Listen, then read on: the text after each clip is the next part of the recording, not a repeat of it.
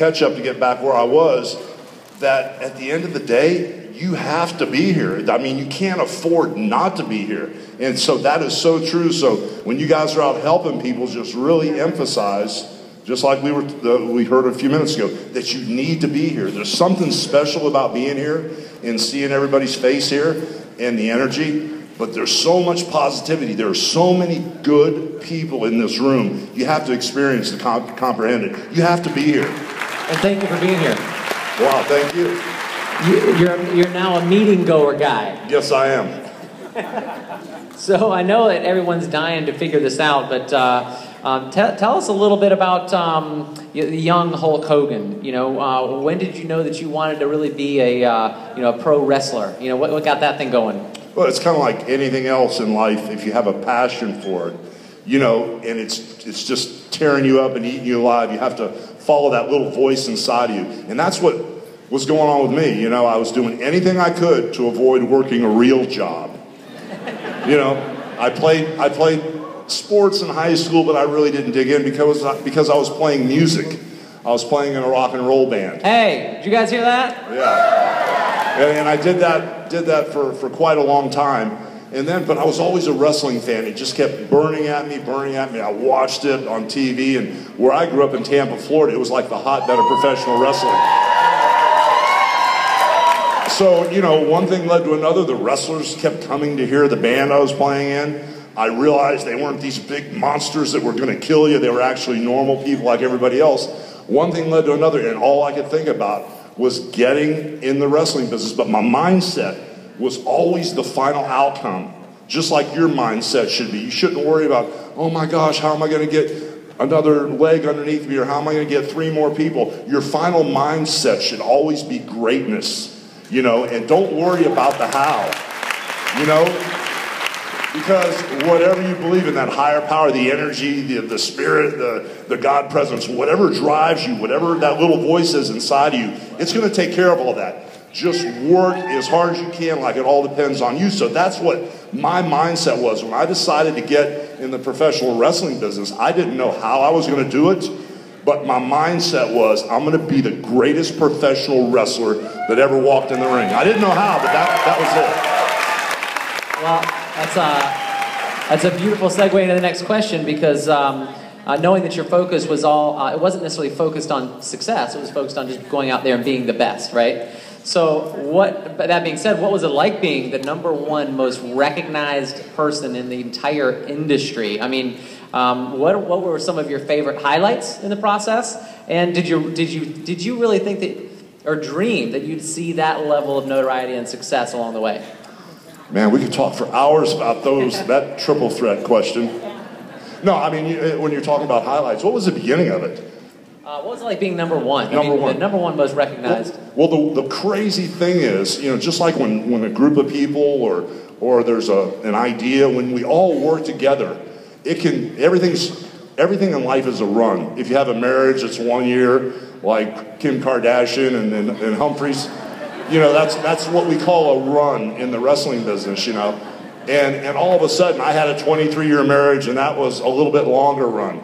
But what was so crazy about the wrestling business, and, and I got to relate it to this company because if you're loyal and you dedicate and you believe, a run can go on forever. And, and that's what happened. Once I got in that position of being the greatest wrestler ever, it was just unbelievable because the fans were so loyal and they, they stuck with me through thick and thin. So, I mean, I got on top in the wrestling business in 1978. I wrestled Andre the Giant, in Shea Stadium, you know. That, that was way before the 94,000 people that's still an indoor attendance record, indoor attendance record. But that whole situation of being on top, you know, still remains today because the fans are so loyal. And when I go out on Impact Wrestling, which I do a show right here in Orlando. It's on Spike TV. The fans are still there.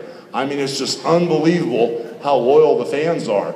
And, and throughout the, the whole career that I've had, it's hard to say because this, I didn't say this, but last week there's a company called Fremantle, and they do a show called X Factor in American Idol. And one of the reasons I kind of threw this second chances out, out here, that idea was Fremantle came to me, and the thought will not leave my head. Fremantle came to me, even though they do, do American Idol and X Factor, and they said, Hulk Hogan, we'd like to do a show with you about giving people second chances.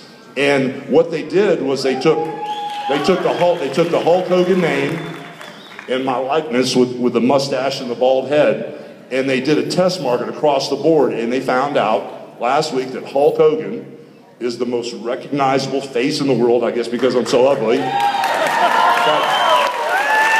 But, but, but worldwide, worldwide, more people know me than Muhammad Ali or the Pope. So what I'm trying to say is, no, no, and that's the truth when they called me back and said, Oh my God, your numbers blew through the roof, I was excited to hear that because you never know, you know. But that's what I'm trying to say about this company. If you guys stick together the way you are right now, the greatness and what can happen with this company will blow your minds. 10 years from now, you'll never would realize what could possibly happen just from this moment because just like the wrestling fans are loyal, Everybody in this room is loyal to helping people and loyal to this company because that's what this company's all about. So, right now, I'm still the most recognizable ugly face in the world. And when you talk about wrestling, a lot of people, most of the people still associate wrestling with Hulk Hogan. So, it's kind of like this run could go on forever. You know, and I had great moments. Yeah. I think you just said Hulk for president.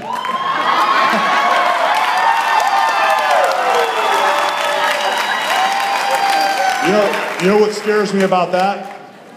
Is if you just make common sense decisions about war or no war, education or no education, helping the elderly or not helping the elderly, maybe a flat tax and treat everybody fairly, you're right, you probably win. All right, I'm in. No, but, and, and I'll, I'll, quit talking right in a second. But my, all, all these moments in my career, slamming Andre the Giant in front of 94,000 people, wrestling one of the most popular wrestlers ever, The Rock, and having the crowd, there you go, and having the crowd cheer for me instead of him after all these years. I mean, there have been some great moments, so the career could go on forever. Well, and it's, um, like you said, it could go on forever. It's like a legacy that you've created, which is, which is very, very powerful because, you know, you've touched so many lives and so many generations. And isn't that what we all want to try to accomplish anyway? Isn't that what we want to do to create for our families? And the only, the only person that can do that is you. You're right. You know, Hulk loves you, but he can't do it for you. You're right. He can be an example to let you know what's possible, but it, it's you. Well, brother, you are so right because you can have somebody mentor